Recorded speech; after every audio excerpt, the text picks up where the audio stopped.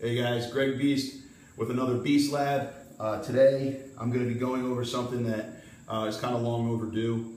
Um, as an FOA coach, the reason that all of our athletes improve, no matter whether they're picking up a stick for the first time or they're a two-time All-American, is that we focus on what's important. We focus on technique and getting rid of wasted movement. So the reason this FOA system came about for me was my background is as a strength coach. I worked at Penn State and then I moved to New York and I started a strength training company that a lot of you guys know. Um, however, my degree and my background is in biomechanics and kinesiology. So what I did when we created this FOA system was I applied my knowledge of biomechanics to the face-off. And that's why the system works so well because Nothing we do is based on, well, this works for me, it might work for you. Everything we teach is to get rid of wasted movement. That's what we obsess over.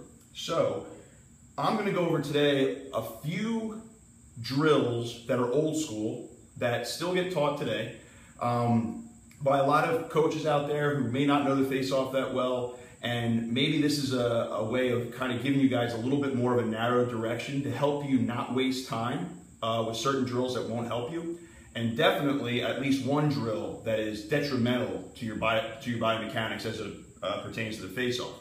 So there's three out there that I see, and I just want to kind of give you guys my knowledge from a scientific background so it can help you kind of cut that stuff out so you can focus on what's really going to help you so that we can help optimize your ability at the face-off.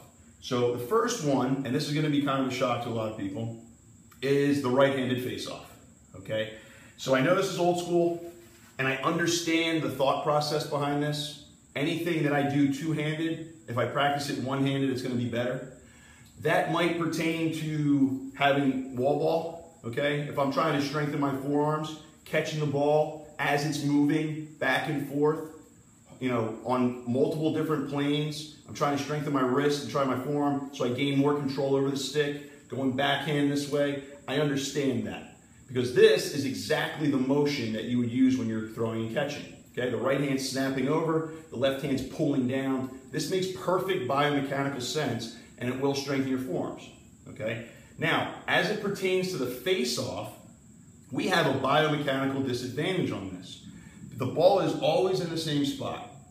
Our goal is to get from our stance to the ball as quickly as we can, obviously, right? Now, the ball's lined up here. My goal is to get from here to here as quickly as I can.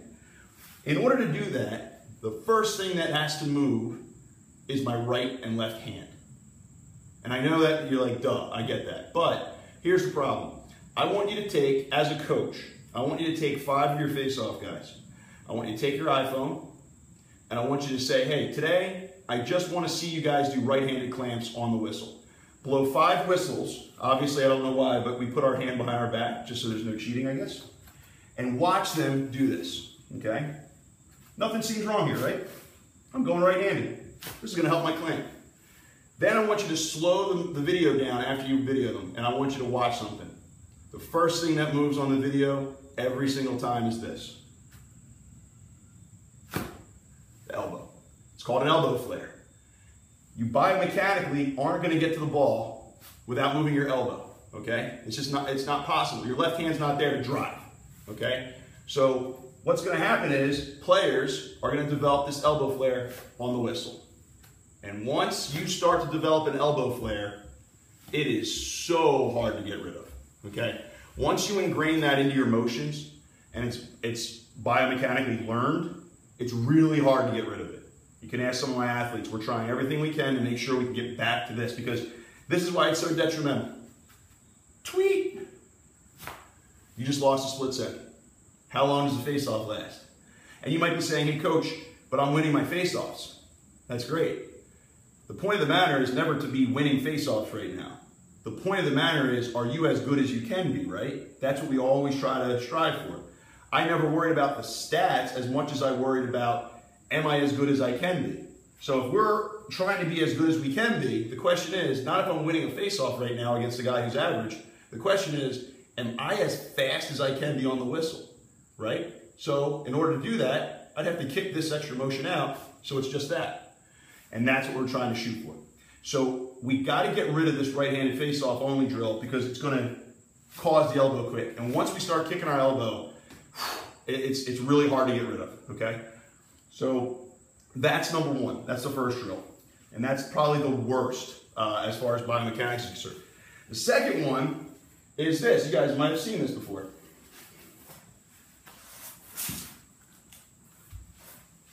This is cool. I can't even do three balls. Okay, maybe I should step my juggling up so I get better at face-offs, but here's the problem. What does this? And what is that? Have to do with face-offs? Nothing. uh, it has absolutely nothing to do with face-offs. Okay, I see guys spending a ton of time juggling and all kinds of really cool stuff. And it looks cool and, and, and it's adorable uh, but it's gonna it'll help you if you want to be a great juggler. The problem is, is that is about the equivalent of juggling basketballs in the air to master your shot in basketball. Right? They're not equivalent at all. They don't do anything. And I've heard it helps my hand speed. How? I can't juggle. My hand speed is pretty good. Why is my hand speed good? because I work specifically on the biomechanics of the face-off only, right? So I've also heard the term that it helps your hand-eye coordination, and it does, which is great. Here's the problem. Do I need hand-eye coordination to face off? No, I can do it blind. Why? Because the ball is always in the same spot. You only need hand-eye coordination for something in movement, right? Because your eyes have to catch it. You can face off with your eyes closed. There's no hand-eye coordination has anything to do with the initial motion on a face-off. It doesn't help you with your hand speed at all, and it doesn't help you with hand-eye coordination. It doesn't matter. So when you juggle, that's great. It looks cool, um, but it's an enormous waste of time as it pertains to the face-off, right? Because the only thing that helps you with a finite skill is practicing that skill. And let me give you an example. So I studied martial arts for years. When we did karate and we worked on our strikes, okay, punches, kicks, elbows, whatever, we didn't juggle. We didn't do cartwheels. We didn't catch tennis balls. We worked on perfecting our punches and kicks and elbows, right? So in order for me to have the fastest, strongest, most devastating blow, I needed to make sure that my punch was perfect. So when you have your technique down, with no wasted movement, you have maximal velocity and accuracy. And that's the idea that we have with our face-offs, is we want it to be perfect motion on just the face-off. So hopefully this is making sense to you guys, and I hope some of you coaches are kind of having like an aha moment here for, for some of you guys who are new to this and trying to get used to this. So the juggling looks cool. If you want to do it to get your hands warm, great. You know, at the FOA, we do chops just to get the hands warm. That doesn't help you with your hand speed either, but it's just to get your hands warm. So this is fine. As long as you understand, it's not going to help you with face-offs in particular, especially your technique. Um, so that's the second thing. The third thing that I've seen, and I get asked about it a lot because a lot of my, my guys understand that I was a strength coach, is they ask about weighing down your shaft, okay? So there's the power shaft out there. Um, I've seen guys actually put rocks in their shafts uh, just to make it heavier. Here's the mo here, here's the problem again. Once once again, this is not the same as throwing and catching. Which, by the way, from a scientific standpoint, there's no correlation to performance as it pertains to weighing something down when you train with it. I know people will shout it from the rooftops because they want to sell stuff. But for instance, for years, when we played baseball growing up, my dad and other dads and other coaches would tell us, you know, use the donut, take two or three bats, together, swing them around so it feels lighter? Yeah, it does feel lighter. And you go up there and you're like, wow, okay, this bat feels lighter. We have found, studies have shown, there's absolutely no evidence that that helps you with your, with your skill set at all. Um, so it's more like a mental thing. But here's the problem. That's just a mental thing, and it doesn't hurt you. When it comes to weighing down a shaft, okay, we have to look at the biomechanics of the face-off again. I'm extending this arm using my rotator cuff and delt. Okay, it's coming out. If this is a weighed force, and it's heavier than it should be, what I'm doing is I'm exacerbating a shearing force because the weight's going down and my arm's being extended on an angle, especially when it comes up and I'm trying to come up on a plunger, okay? That shearing force is gonna exacerbate and speed up shoulder injury, okay? So I know some guys are like, man, I do it and it works. Look, a lot of you guys out there, you're good because you're good. Naturally speaking, you have a good nervous system, you're athletic, you're coming to FOAs, you're learning the technique right. This stuff, heavy, heavy shafts, is going to speed up how quickly you get an injury. And in a injury-ridden position like ours, wrists, shoulders, low backs, we cannot afford to do anything that's going to increase our chances of injury. So, if we want to weigh something down and, and increase the shearing force on our shoulder, we're just asking to be a ticking time bomb for a really bad time to have an injury. And usually these injuries pop up your freshman fall. A lot of guys who overuse their bodies, they show up their freshman fall in college.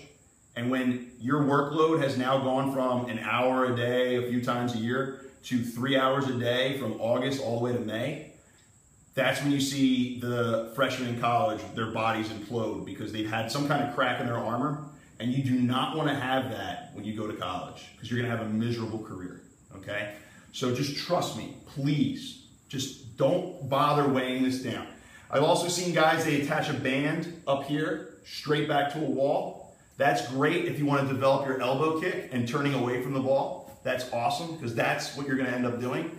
However, this is not a face-off. A face-off is driving into the ball left and right-handed to stuff the throat. So you're going to develop your elbow kick again. Any band that's attached to something behind you is not going to be a direct correlating skill set. You need something that's going to be attaching to your core. If you get a short band attached from your core to your left hand, well, now we're talking. Now you got something that's actually punching from your core straight into the ball. That's actually mimicking a face-off, and it's helping you speed up your hand speed into the ball from the exact motion in which you would do a face-off. That's mimicking. That's perfect. Okay, but having something attached behind you, especially just the right side, is going to cause you to start turning away from the ball, and that's going to really screw up your exits, and it's really going to make you end up being one of these guys on 50-50s. So those are a few things that I just think can help you coaches out there. Some of you younger guys who are getting into face-offs and want to try to catch an edge. If you want to develop the fastest possible hand speed, the best possible reaction time, and the best possible technique on face-offs, obsess over your wasted movement. Okay, the FOA app, we have it on I iOS. You can download on iTunes. It's perfectly designed for you to have a random cadence and for it to video you doing your motions on a whistle in reaction, as well as going against a friend, so that you can then go back and study it and see, am I wasting movement by kicking my elbow out? Am I sitting back when I clamp like a lot of guys do? Am I kicking my left foot out? All of these things are what slow you up. So don't focus on, coach, I need to have a better reaction. Focus on, coach, how can I continue to cut away all this wasted movement so it goes away from this and becomes that. So I'm leaning over the ball, driving everything in. Okay? So those are a few drills to get rid of. In the meantime, replace them with working on your technique, videoing yourself, sending it to your FOA coach so we can help you out.